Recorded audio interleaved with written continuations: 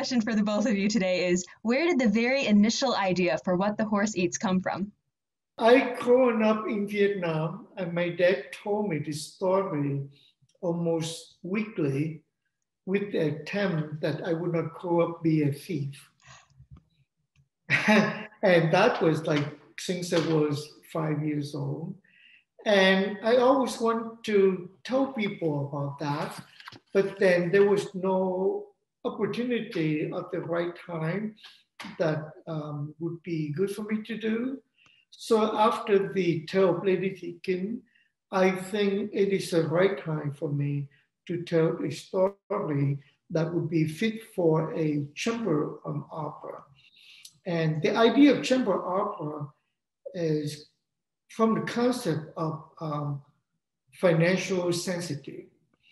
And, and part of what I'm doing in part of the society, the organization that we're working for, we tend to produce a lot of more things, a lot of shows, a lot of opera or opera scene, and money is always the big issue.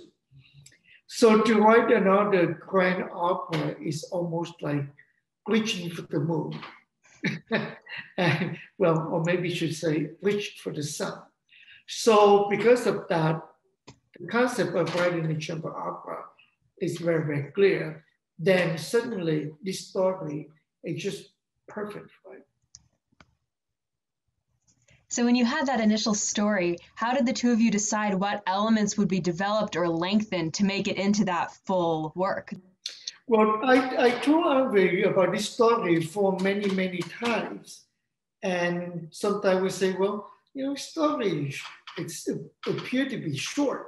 So how can we make it last for an hour and, and it's not that simple in the way.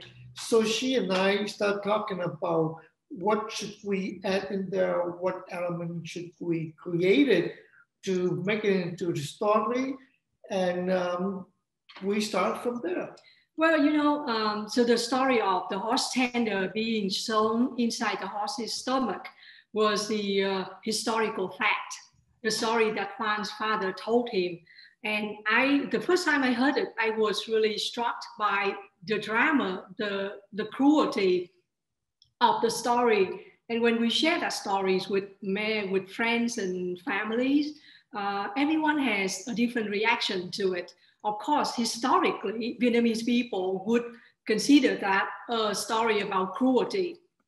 Uh, but we don't want to, to tell a story or to write a, a, the, a, a chamber opera to criticize one and then to praise another. We want the story to be um, uh, to be neutral, non-judgmental, because mm-hmm. we I, I we can see the the relevance, uh, the lessons that we can learn from such a dramatic story, and um, and so we have to add details to make this to make sense of that cruelty to make sense of the action besides we tell stories to reach out uh, to connect with people mm-hmm. it's not good to condemn anyone at all in yeah. the story and besides that victims of war is common and and sometimes it is very very difficult to come up uh, with the concept or with an idea that uh,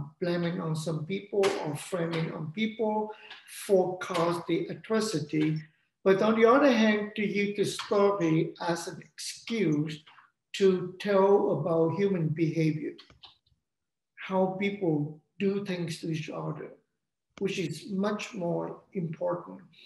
And, and that's why in the part of the libretto, toward the end, um, the Japanese captain, the wife, and the villager, they talking about of a self-reflection that what have they done or not doing with it right. And, and they at the at the at the moment they think that is the right thing to do and they pursue it. And sometimes people pursue a thing because lack of profound thinking lack of, um, of, of uh, take a moment to judge things And because of that, they do at um, at first at the yeah at haste. So because of that, it happened the way it is. But then toward the end, when things actually happen, everyone reflect a moment that perhaps could be regretted. Yeah, I think that's one thing that the both of you do so brilliantly in the libretto is that you'll have the characters acting as they are in society and they'll be interacting with each other, but then you get these moments where they step away and you see them having that internal conflict as they make these, you know, difficult, impossible even decisions. Um, can you talk a little bit about how you engineered those two levels to work off each other in the libretto? Well, you know, um, right from the beginning, we already agreed that this story is non-judgmental, right? And so I will, will Phan suggested to have each character reflecting, and that's what I did. I had each character, uh, the, re- the reflection for each character is there. And um, instead of having all of them singing one by one, uh, it would take too long. We don't have a lot of time and it's not so interesting. It, it would sound more like lamenting if everyone would take a moment and, and sit and stand there, you know. And so it's Phan's idea to have them sing together, pair them. Uh, and, and I thought that was a brilliant idea. Mm-hmm. You know, it's a historical story.